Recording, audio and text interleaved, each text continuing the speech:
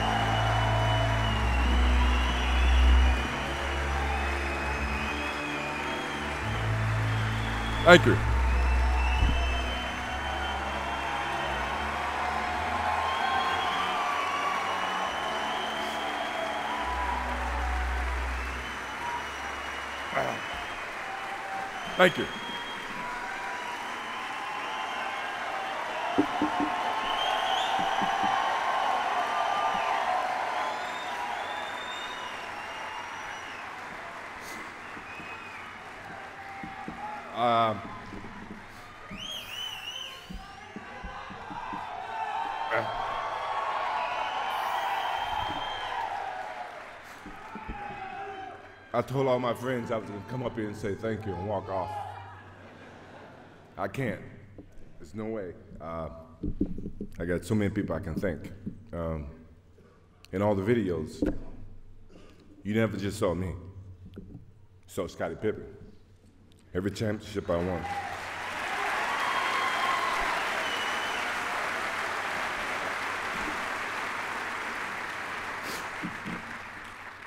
I've had a lot of questions uh, over the last four weeks, and everybody's saying, well, why did you pick David Thompson?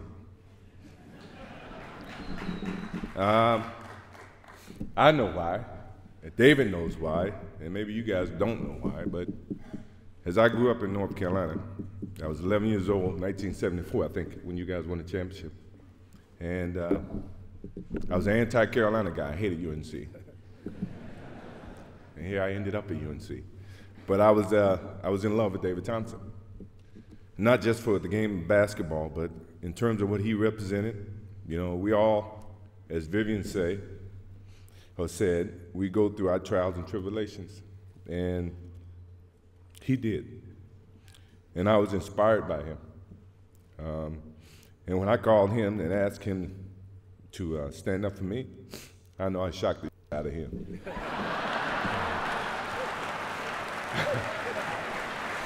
I know I did.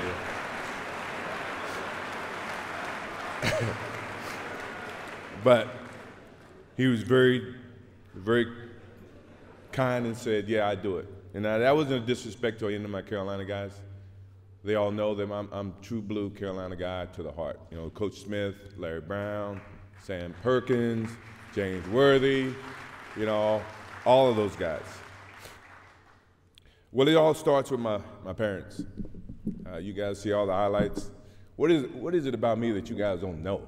Uh, as I set up here and I watch all the other recipients stand up here and they give their, their history and so many things I, I didn't know about Jerry Sloan. I know he lived on a farm, but I didn't know he was in a you know, small classroom of, from first grade to the eighth grade. Uh, even David Robinson, obviously, I, I've known David for some time, and you know, I, I, found some, some things out about him, and even with uh, John, I found some bad things or good things about him, and uh, and even Viv, Viv, I known Viv for years, and her and my father and my mom spent a lot of time on the Nike trips, and you know, I found out a lot of good things about her. But what about me that you guys don't know? Um, I got two brothers, James and, and Larry. They're five four, five five in height.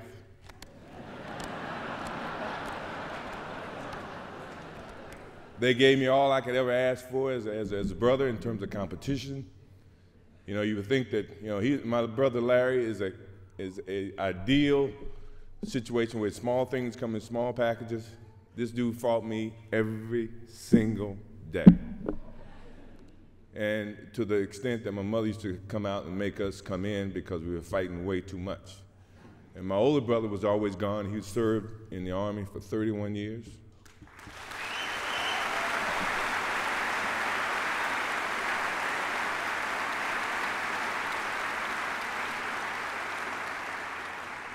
And the competition didn't stop there. My sister, who's one year younger than me, Roz, never wanted to be home by herself. She took classes, extra classes to graduate from high school with me, to go to University in North Carolina with me, and to graduate prior than me. and you guys sit and ask me where my competition or my competitive nature came from. It came from them. It came from my older sister. she was not here today, and my father, who's not here today, obviously he's with us and all of us.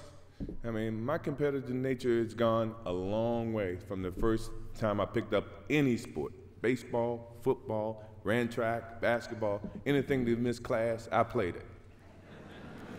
Uh, when you think about, you know, so they started the fire in me.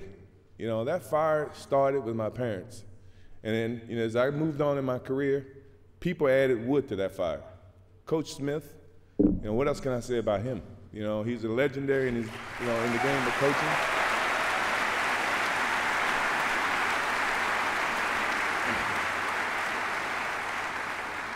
And then there's Leroy Smith. Now you gotta think that's a myth. Leroy Smith was a guy, when I got cut, he made the team on the varsity team. And he's here tonight. He's still the same six seven guy. He's not any bigger. He, probably his game is about the same.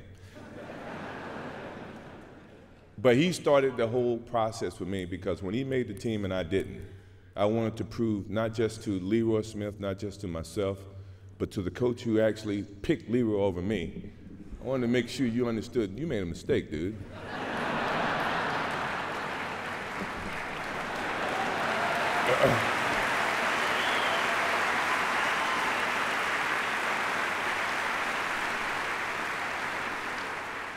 and then there's Buzz Peterson, my roommate. You know, when I first met Buzz, all I heard about was this kid from Asheville, North Carolina, who's a player of the year. I'm thinking, well, he ain't never played against me yet.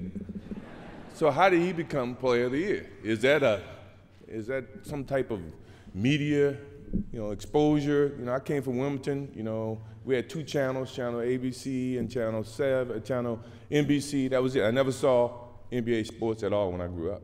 You didn't have CBS affiliation in, uh, in North Carolina, in Wilmington. So Buzz Peterson became a dot on my board. And when I got the chance to meet Buzz Peterson on the basketball court or in person, Buzz was a great person. It wasn't a fault of his. It was, it was just my competitive nature. I didn't think he could beat me or he was better than me as a basketball player. And he became my roommate. And from that point on, he became a focal point, not knowingly. He didn't know it. But he did. And Coach Smith, the day that he was on the Sports Illustrated and he named four starters and he didn't name me, that burned me up. because I thought I belonged on that Sports Illustrated. Now, he had his own vision about giving a freshman that exposure, and I totally understand that. But from a basketball sense, I deserve to be on that Sports Illustrated, and he understands that. And it didn't stop there. You know, my competitive nature went right into the pros. I get to the Bulls, which I was very proud that at the time Jerry Reinsdorf didn't own the team. Uh, it was another organization, and Rod Thorn drafted me. Kevin Loughery was my first coach. Kevin used to take practices and put me in the starting five and we, you know, he'd make it a, competitive thing where the losing team have to run. So now we, I'm on the winning team, and halfway in the game, halfway in the situation, he would switch me to the losing team. So I, I, I, take that as a competitive thing by you trying to test me. And by nine times out of 10, the second team would come back and win no matter what he did. so I appreciate Kevin Loughery for giving me that challenge, you know, providing that type of fire within me. He threw another log on that fire for me. Jerry Reinsdorf. I mean, what else can I say? The next year I come back, I broke my foot. I was out for 65 games. And when I came back, I wanted to play. You know, here in the doctors, they came up with this whole theory that you can only play seven minutes a game, but I'm practicing two hours a day. You know, I'm saying, well, I don't think, I don't, I don't agree with that math. You know, and back then, it was about whoever had the worst record get the most balls and the ping pong balls, and you know you can decide what pick you're gonna have. But I didn't care about that. I just wanted to win. I wanted to make the playoffs. You know, I wanted to keep that, that energy going in Chicago. So I had to go in his office and sit down with him. And I said, Jerry, you know, I feel like I shouldn't play more than 14 minutes. I'm practicing two hours. He says, uh, MJ, I think I have to protect the long term of investment that we've invested in you. And I said, Jerry, I, said, I really think I should be able to play. He said, let me ask you this. He said, if you had a headache, and you know, at that time it was about 10% chance that I can re-injure my, my ankle or my foot. He says, if you have a headache and you got a 10 tablets and one of them is coated with cyanide, would you take the Tylenol? And I looked at him, I said, how bad is the headache? Depending on how bad the headache. Jerry looked at me and said, you okay? I guess that's a good answer. You can go back and play. He let me allow to go back and play. And, you know, Jerry provided a lot of different obstacles for me, but at the same time, the guy gave me an opportunity to perform at the highest level in terms of basketball and the, the Bulls, the whole Bulls, Bulls organization, you know, they did a, a, great justice for me and for all my teammates. Believe me, I had a lot of teammates over the 14 years that I played for the Bulls, and you know, I respected each and every one of them. I just wanted to win, you know, no matter how you look at it. And then along came Doug Collins, who was caught in the whole mix of this Jerry Krause and and uh, Jerry Reinsdorf, and you know, at the same time, he, you know, when I was trying to play in the summertime, he said, "Well, you know, you're a part of the the organization, the organization said you can't play in the summertime. I said, Doug, you hadn't read the fine print in my contract. In my contract said I had the love of the game clause. That means I can play anytime I want, any place I want. and Doug looked at me and said, Yeah, you're right. You're right. And that's how we became, you know, a little closer in terms of Doug Collins and myself. And you know, Jerry Krause is right there, and Jerry's not here. Obviously, I don't, you know, I don't know who inv- invited him. I didn't, but uh, uh, I hope he understands. I hope he understands it, it, goes a long way, and he was a very competitive person. I was a very competitive person. He said organization wins championships. I said, I didn't see organization playing with the flu in Utah. I didn't see him playing with, you know, with the bad ankle. Uh, granted, granted, I think organizations put together teams, but at the end of the day, the teams got to go out and play. You know, so in essence, I think the players win the championship and the organization has something to do with it, don't get me wrong. But don't try to put the organization above the players because at the end of the day, the players still got to go out there and perform. You guys got to pay us, but I still got to go out and play. Uh, obviously, you, you, see my kids, you know, Jeffrey, Marcus, Jasmine, I love you guys. I think uh, you guys represent a lot of me, you know, a lot of different personalities. Your mom, you represent them as well. You know, I, I think that you guys have a heavy burden. I, I wouldn't want to be you guys if I had to, you know, because of all the expectations that you have to deal with. I mean, look around you. you know, they charge you thousand dollar tickets for this game, for this whole event. It used to be two hundred bucks. but I paid it. You know, I, I, had no choice. I had a lot of family, a lot of friends I had to bring in. So, thank you Hall of Fame for for raising ticket price. I guess. um, but you guys, yeah, I love you guys. You guys just don't know. You got a whole host of people supporting you family, friends, people that you don't know, relatives coming out of the woodworks, you know, no matter how you look at it. But I think uh, we taught you right, your mom and I, and uh, hopefully you can make the right decision when the time comes. Um, my mom, what else can I say my mom? My mom never stays still. You think I'm busy. She's always on, on the go. And without her, she's a rock. She's unbelievable. She right now, she takes over two jobs.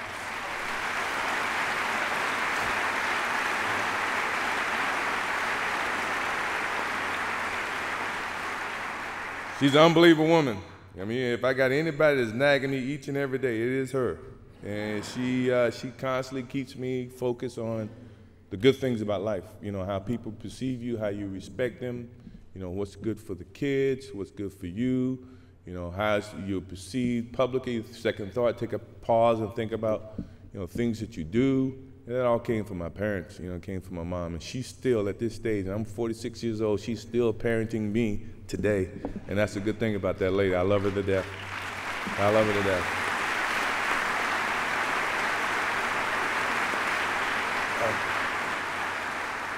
And I'm to thank a couple people that you guys probably wouldn't even think that I would thank.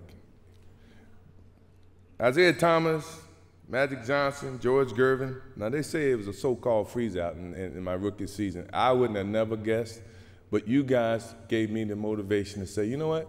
Evidently, I haven't proved enough to these guys. I got to prove to them that I deserve what I've gotten on this level. And no matter what people may have said, if it was a rumor, I never took it as, as, as truth. But you guys never froze me out because I was just happy to be there, no matter how you look at it. You know, and from that point forward, you know, I wanted to prove to you, Magic, Larry, George, everybody, that I deserve to be on this level as, as much as anybody else. And I hopefully, over the period of my career, I've done that without a doubt. You know, even in the Detroit years, we've done that.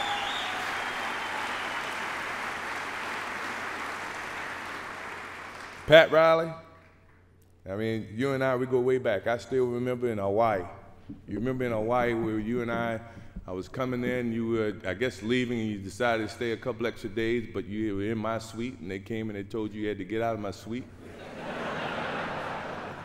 and you slid a note underneath my door, although you had to move, you did move. you slid a note saying, I enjoyed the competition, congratulations, but we will meet again. and I take the heart in that because I think, in all honesty, you are just as competitive as I am, you know, even from a coaching standpoint. And you've challenged me every time I played the Knicks, the Heat. And I, I don't think you were with the Lakers, but anytime I played against you, you had you had Jordan Stoppers on your team.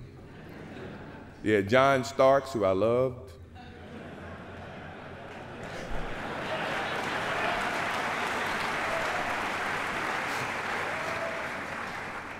You even had my friend Charles Oakley saying we can't go to lunch, we can't go to dinner because Pat doesn't believe in fraternizing between the two of us. and this guy hit me harder than anybody else in the league, and he was my best friend. Patrick Ewing, we had the same age, we came out the same time, but we couldn't go to lunch.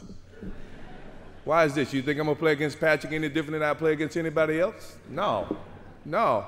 And then you had your little guy who was on your staff who became the Knicks coach after you, Jeff Van Gundy.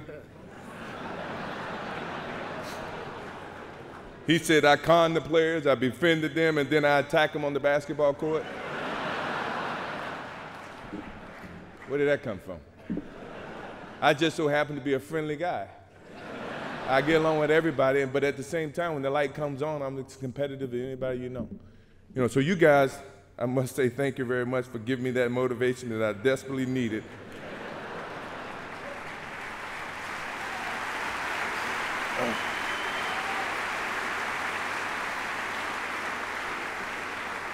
Phil Jackson. Phil Jackson is, uh, to me, is a, he's a professional Dean Smith. You know, he challenged me mentally, not just physically. You know, he understood the game, along with Tex Winter. They taught me a lot about the basketball game. Uh, Tex being the specialist, you know, I can never please Tex. And I love Tex. Tex is not here, but, you know, I know he's here in spirit. He is, I can remember a game coming off the basketball court, and we were down I don't know, five 10 points, and I go off about 25 points, we come back and win the game. And we're walking off the floor, and Tex look at me and says, you know, there's no iron team. I say, Tex, it's not. It's not an iron team, but it's I iron win.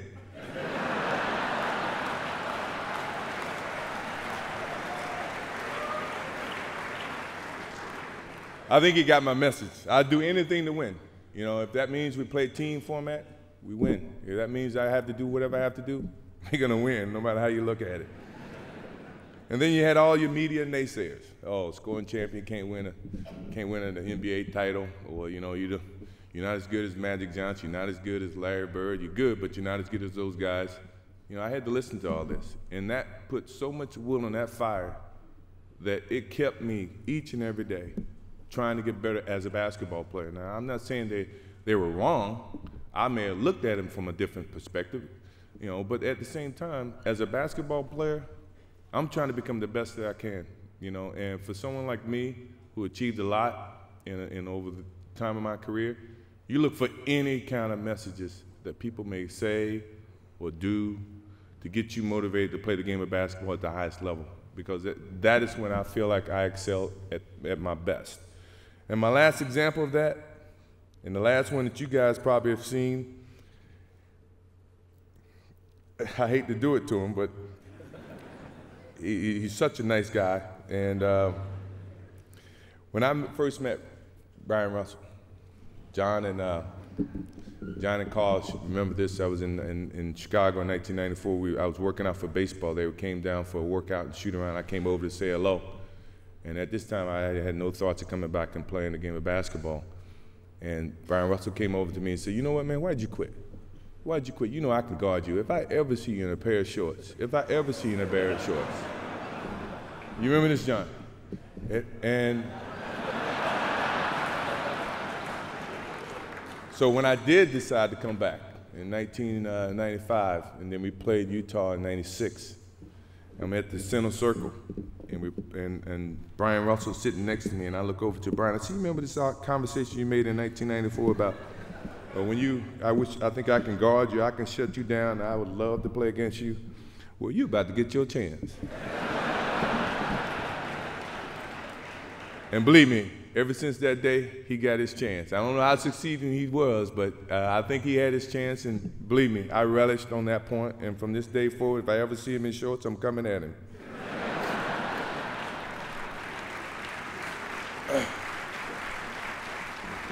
I know you guys got to go. I know I've been up here a lot longer than I told my friends I was going to be up here. I cried. I was supposed to get up here and say thank you and walk off, and I didn't even do that. So uh, I appreciate it. Thank you very much. I appreciate it.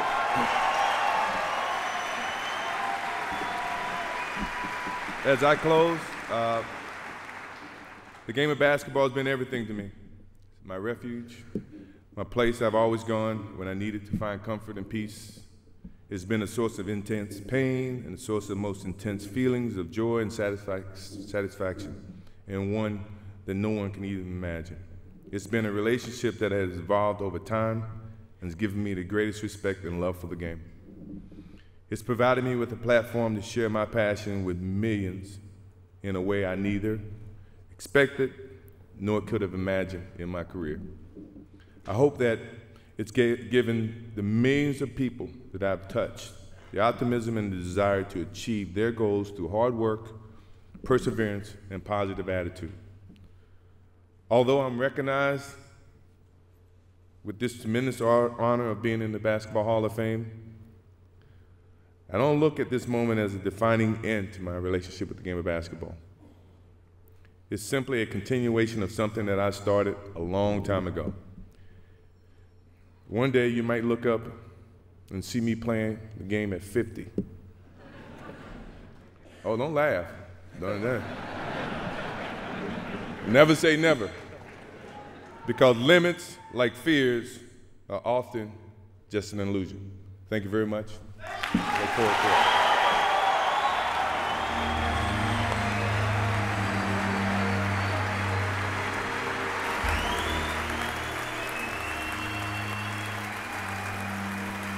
When we come back, we will wrap up this historic night in Springfield, Massachusetts, as the class of 2009 will be officially enshrined in the Hall of Fame.